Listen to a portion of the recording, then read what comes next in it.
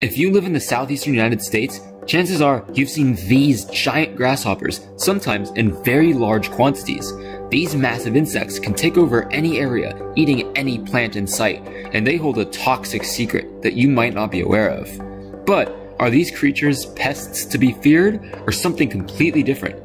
Today, we are exploring a marsh habitat in South Florida to search for these grasshoppers and answer these questions and much more.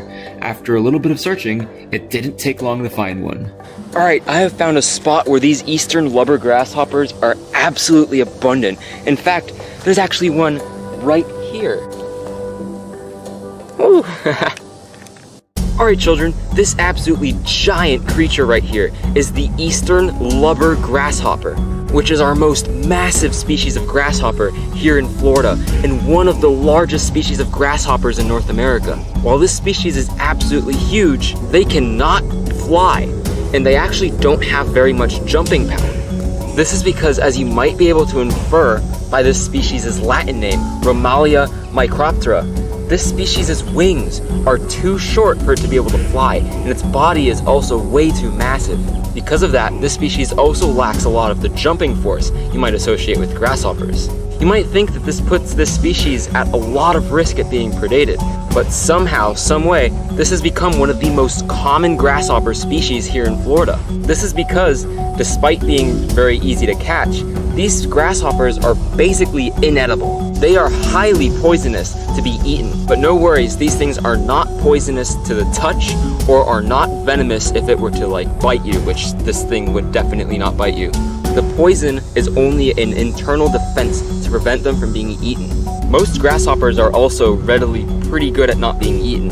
While most grasshoppers are not poisonous, they will still secrete a very bad tasting fluid out of their mouths made out of their digestive enzymes as well as decaying plant matter. But this species, because of its large size and flightlessness, takes that to the next level, being very toxic, and they are not afraid to advertise that either. The bright colors that you see on these are what are called aposematic coloration, or warning colors, that let a predator know not to mess with this eastern lubber grasshopper, as it is not going to end well for the predator trying to eat one of these.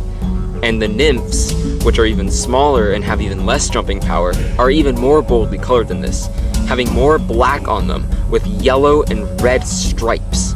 These things are distinctive and unmistakable throughout their entire life cycle. As adults, all the individuals look roughly like this, though the colors themselves are quite variable.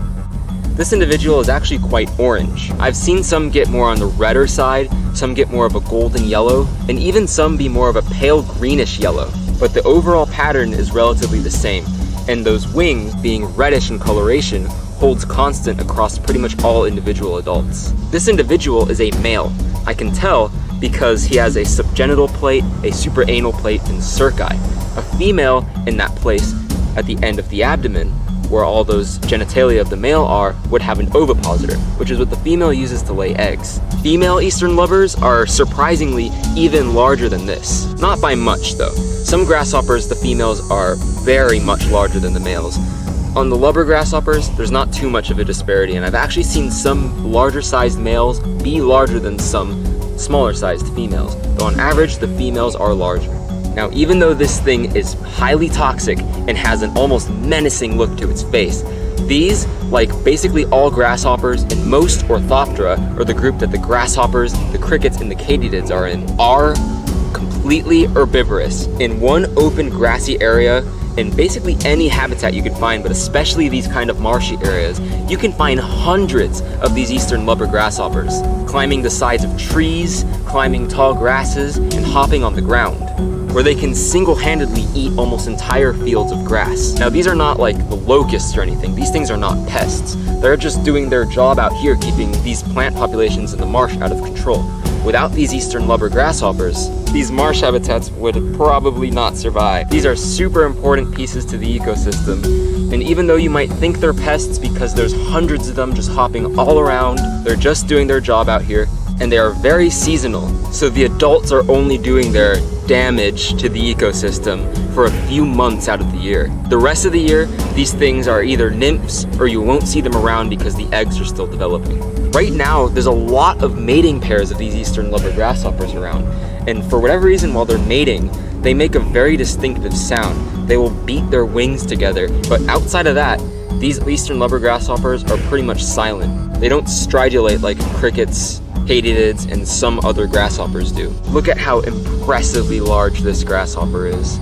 I could understand why some people might be scared of this species, but in my opinion, the eastern lubber grasshopper is a super cute species and is honestly one of the best gateway species if you're scared of handling insects. Because as you can see, they are extremely calm, they're easy to catch, easy to handle, large and easy to keep track of, and super interactive. Alright, I hope you enjoyed learning about the giant, toxic eastern lubber grasshopper.